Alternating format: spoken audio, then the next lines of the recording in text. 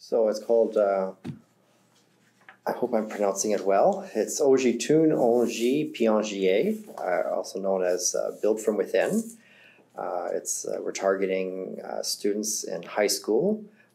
We start recruiting them in grade 10, first of all, um, to who then they'll enter the program in grade 11. So what we do is identify students that are academically bound for university, uh, that have an interest in wanting to be teachers, and uh, so they apply for the program. They go through an interview process, and uh, once selected, uh, we you know map out their uh, coursework, and now the first cohort's just started, and they're at the university. Uh, or actually, Winnipeg Adult Ed Education Center. So they're housed there as a group. Uh, in the morning, they're taking uh, EA courses, so they're going to become an educational assistant. Uh, they'll graduate high school with their educational assistant uh, certificate, as well as their high school diploma. Uh, so right now, they're most of them are having to take math courses, like those those because they need like the um, applied math when they're in the education program at UW for the integrated degree.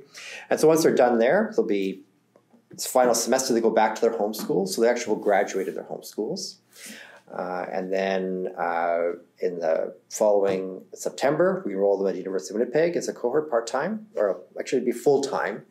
Uh, we haven't mapped out all the how the course is going to work, but we know they're going to do a major in history and a minor in English. Will be there, and they'll be geared towards the K to six stream uh, for their all their teaching practicum and stuff like that and they'll work part time as an educational assistant for the school division. And we're going to be pairing them with uh, master teachers so that they learn how to, you know, be an effective teacher in the classroom, right?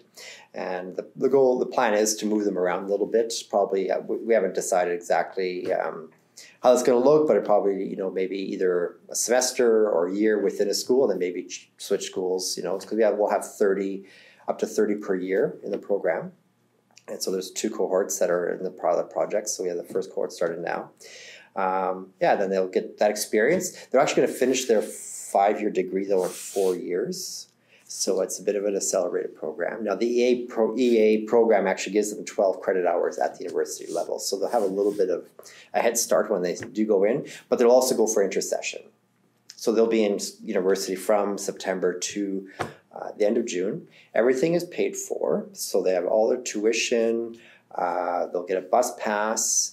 Uh, they will be earning a little bit of an income as an EA, so it'll be enough to probably not live independently, but you know certainly enough to um, either somewhat shared accommodation or living with family kind of thing, right?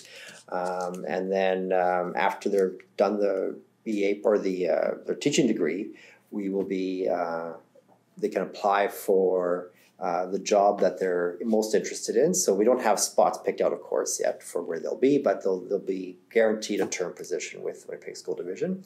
And our hope is that they'll give us minimally five years, but we're hoping that they will be uh, lifelong uh, teachers with the school division, maybe one day be a superintendent or something like that, right? Uh, so uh, it's, it's exciting. They, the first cohort started this last week. And so I, I got to spend a week with them as a group um, at Winnipeg Adult Ed Center. And so they're, they're looking forward to it. And, um, and then they've been showing up every day, minus 30. So it was really great to see them. Uh, in the age groups, yes. So we the maximum, like we, it's targeted for the grade, like that they would enter in grade eleven.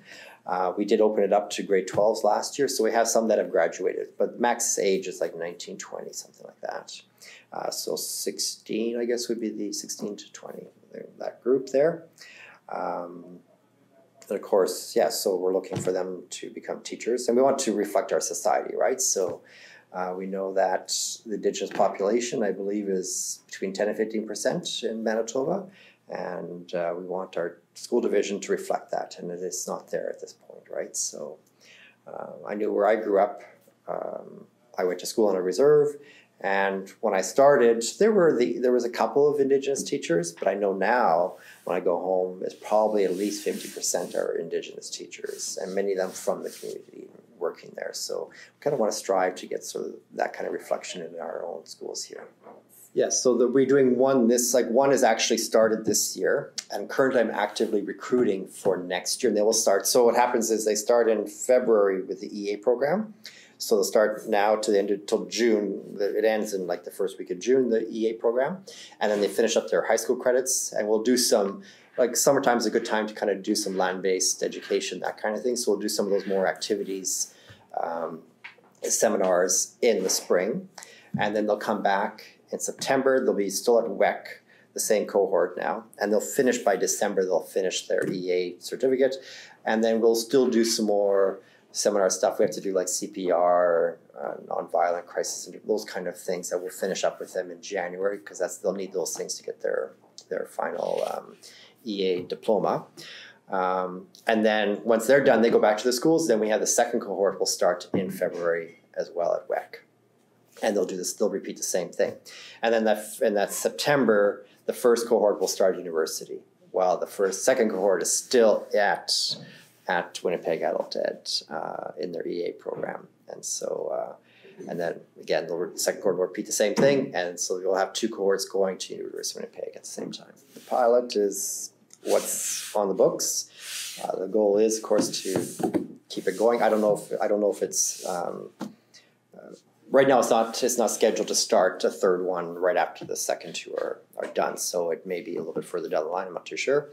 Um, and I'm my role right now. I'm I'm in three years, so we'll have to see where after the, my three years where I end up. Because uh, I'd like to be around to follow them, but it may not be the same capacity as I'm doing quite now. It might be something a little bit different. Well, I know we do want some more applicants, so if there's anyone watching that has students in Winnipeg School Division, make sure they uh, tell their tell their children uh, to look at our program um, and uh, just to uh, go out and take advantage of education opportunities because it does open a lot of doors.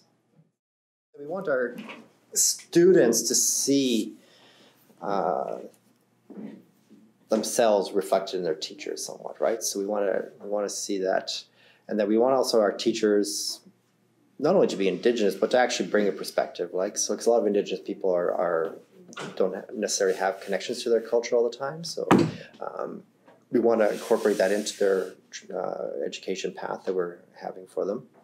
That they will learn different ways of incorporating um, their perspective, indigenous perspectives into the curriculum, into the classroom, and making a normal part of the day rather than okay, today we're going to, you know, talk about this indigenous group, right? But you know, I know like when I worked at my previous job, uh, the math teacher was trying to do things that just made it um, uh, incorporating math ideas from indigenous perspectives into the math class where sometimes i think we kind of relegate it to a, a history course or maybe even an english course but because we teach a certain book or something like that right so i want to try and make it a bit more holistic um, so that you know your phys eds your math social studies science all these things that there can be an element of an indigenous perspective in it well, uh, this program I'm in right now is going to be for the next six or seven, so I'm, I'm really looking forward to um, uh, seeing the students progress through this and graduating. And of course, I'd like to see it happen again, that this becomes not just a pilot project, but something that we, we,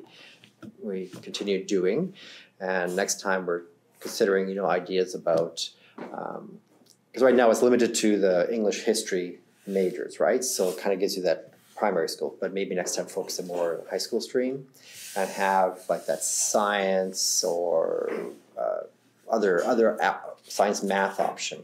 You know, because uh, I think I had a few applicants who were like, I really want to do the science math at high school versus the lower kids, and so they were kind of on the fence if they want to do this program. You know, so I'd like to maybe see it opened up more so that um, it's not just relegated to the primary grades. Now in Manitoba once you're a teacher, you can move into anywhere in the K to 12, right? So you're not necessarily restricted to that. But um, and yeah, I'd like to see that the that the school divisions, not only Winnipeg School Division, but all of Winnipeg, that you see more Aboriginals engaged in the school system, so that uh, we get better outcomes for our people that um, start graduating at higher numbers and start entering different professions.